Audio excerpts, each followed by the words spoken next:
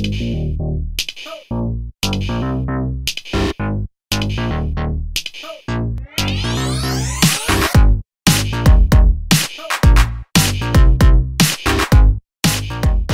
guys and girls and again we're just covering knots today.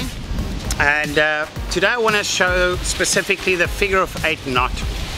One of the most popular knots we use for tying monofluorocarbon to a hook or a swivel okay very simple. For the purpose of, of the illustration I'm using braided line so you can see it better and I'll do it with a thicker line as well. And also very simple. You put it through the eye of the hook. I use my index finger where I will loop it twice over back towards the hook.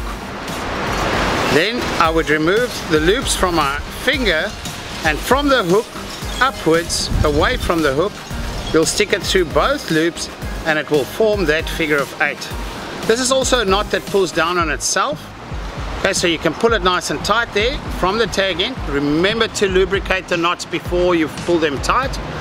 And then this knot slips down to the hook. You pull it as tight as you can and then you pull the tag end. All right, now I'm gonna do exactly the same for you guys using a thicker rope so you can see it clearly. All right, as I said, here's the ring of your hook or your swivel. You'll stick your line straight through, very simple. You'll make the two loops going back towards the hook. All right, I use my index finger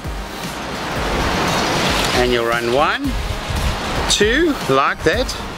You'll remove the loops off your finger.